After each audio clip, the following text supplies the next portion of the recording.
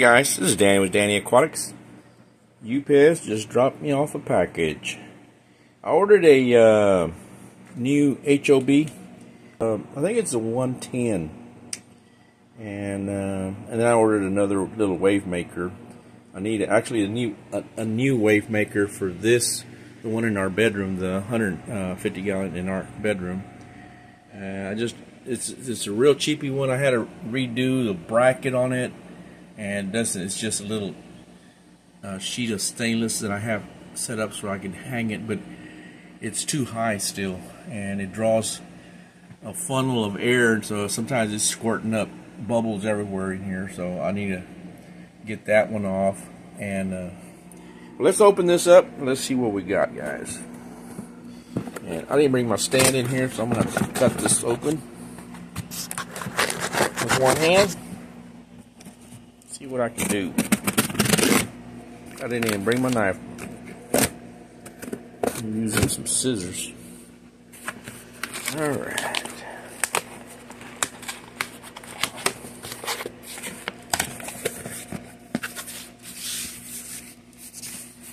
Oh, I'm sorry. It's uh Seakin. What is that? How does he pronounce that? Uh I, Seashay, I believe, I guess. But uh, let me see. This is the wave maker I've put in a couple of other tanks. It works really good. And got a real powerful little magnet. And this one is rated at, this is the FS 130. Let me see here.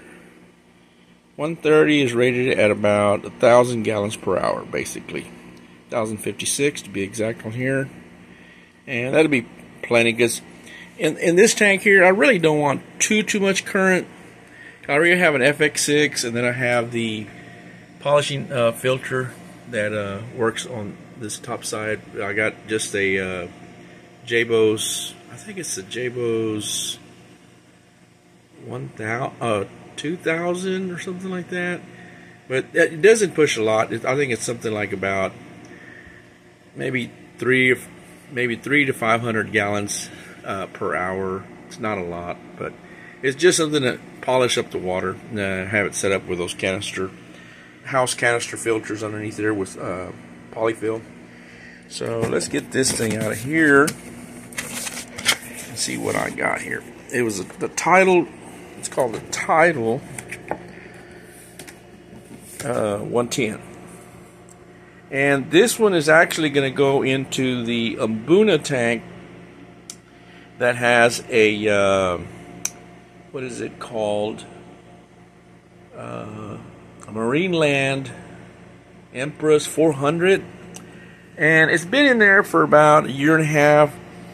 And I really liked them at first because it's got the little bio wheels, and sometimes the one wheel's not turning, the other one's not turning, and then the motors are actually on the outside of the aquarium.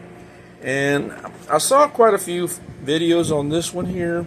I wasn't gonna do just the 75, the the 175, uh, but I said, you know what, I'm gonna do overkill and put the 110 on there because the, let me see what the flow rate is on this one. Um, uh, for uh, for up, up to a, so I'm going to be putting it on a 55 gallon tank, so it's got a 450 gallons per hour flow rate. So that's going to really help to uh, help it cycle that water, in, uh, turn it around. Probably about more like eight to ten to ten to one time. So I'll be installing this and I'll have it on another video or part of this video.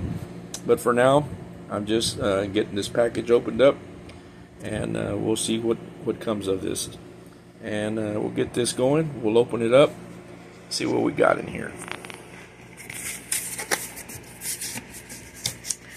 And it's got a big, thick instruction book.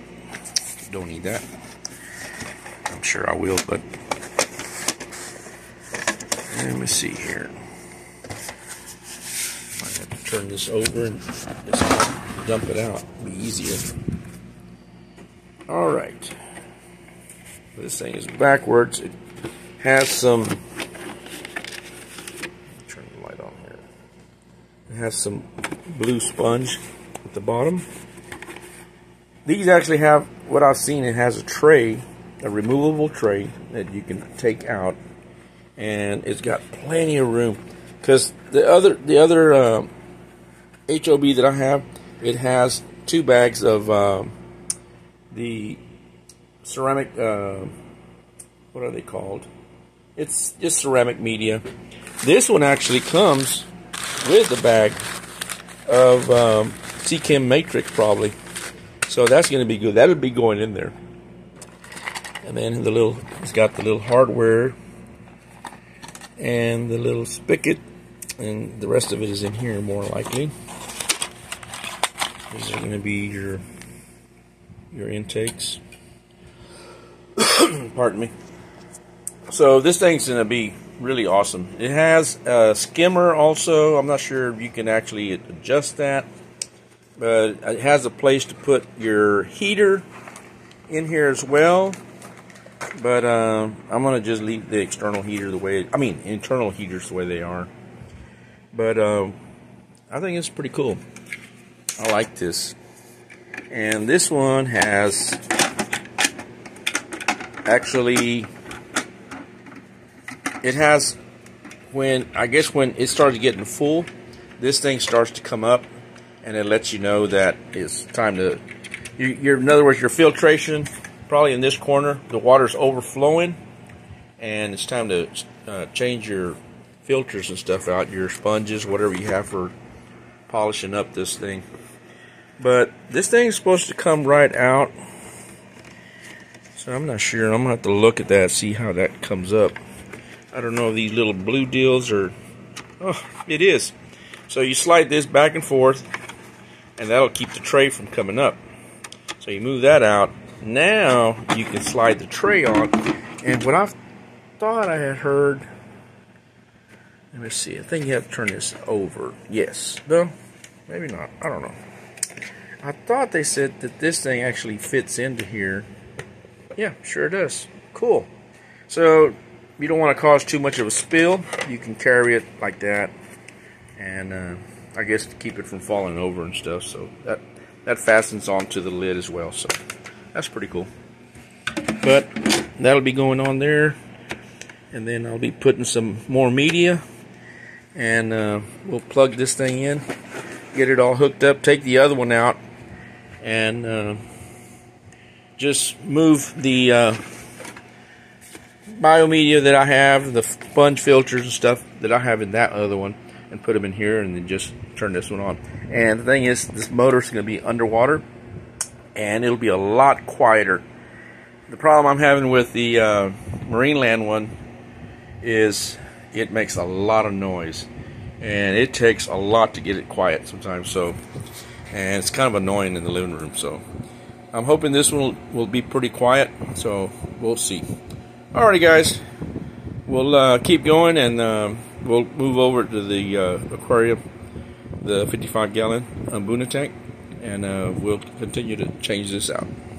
Alrighty, guys. This is the Marineland Empress 400 that's going to be coming out. And right now it's actually not making a lot, a lot of noise, but it is noisy. And that little annoying rumbling is all night long. So, and it's kind of nasty there, but we're gonna remove that, unplug it. I've got everything kind of set up on the ground here. I got a bucket, I got a little towel. Just I know I'll make a mess all the time. So we're gonna get that off. So I'm gonna come down here and unplug this up. And I think I remember which one it was. There it is. That's the one. Nice and quiet now. Alrighty. Bear with me. I'm going to remove this and then uh, get it out of the way and then we'll drop the other one in. I measured it. We have plenty of space to move the other one into place. Alright guys, I got it back into place here and everything fit perfect in here. I even added, it comes with a little uh, wheel, little shaft, so you can level the the actual unit so it, it lays where it's not tilted back or tilting forward too much. So I got it set just right. So I'm going to do, I got all the biomedia, all this is going, all this is going back into, into this container. Because that's really important to back in here. I want to make sure all that gets put back in. And then I had a couple of sponges that I'm going to probably drop right back on top of that like I had. And that's going to be about it. And everything else is going to stay in here. And I'm going to clean that other one up, put it up, and keep it just for a backup, just in case. And uh, but I'm hoping this thing will be a lot quieter than the other one was. So I'm sorry. I've got these opened up all the way. The bottom one as well. The bottom one actually allows the flow. Let me turn this light off. Still kind of hard to see. But it allows the flow to come up through there. At uh, if, you, if you cut that, if you restrict, you can actually restrict the flow. So I got it wide open. Alrighty. I'm going to attempt to plug this in and see if it'll actually start and fill it up. I'm not sure if I should fill it up prior, but uh, since the pump is underwater, it should start it up. It should probably prime on its own. We'll plug it in and we'll see. If not, we'll just unplug it real quick.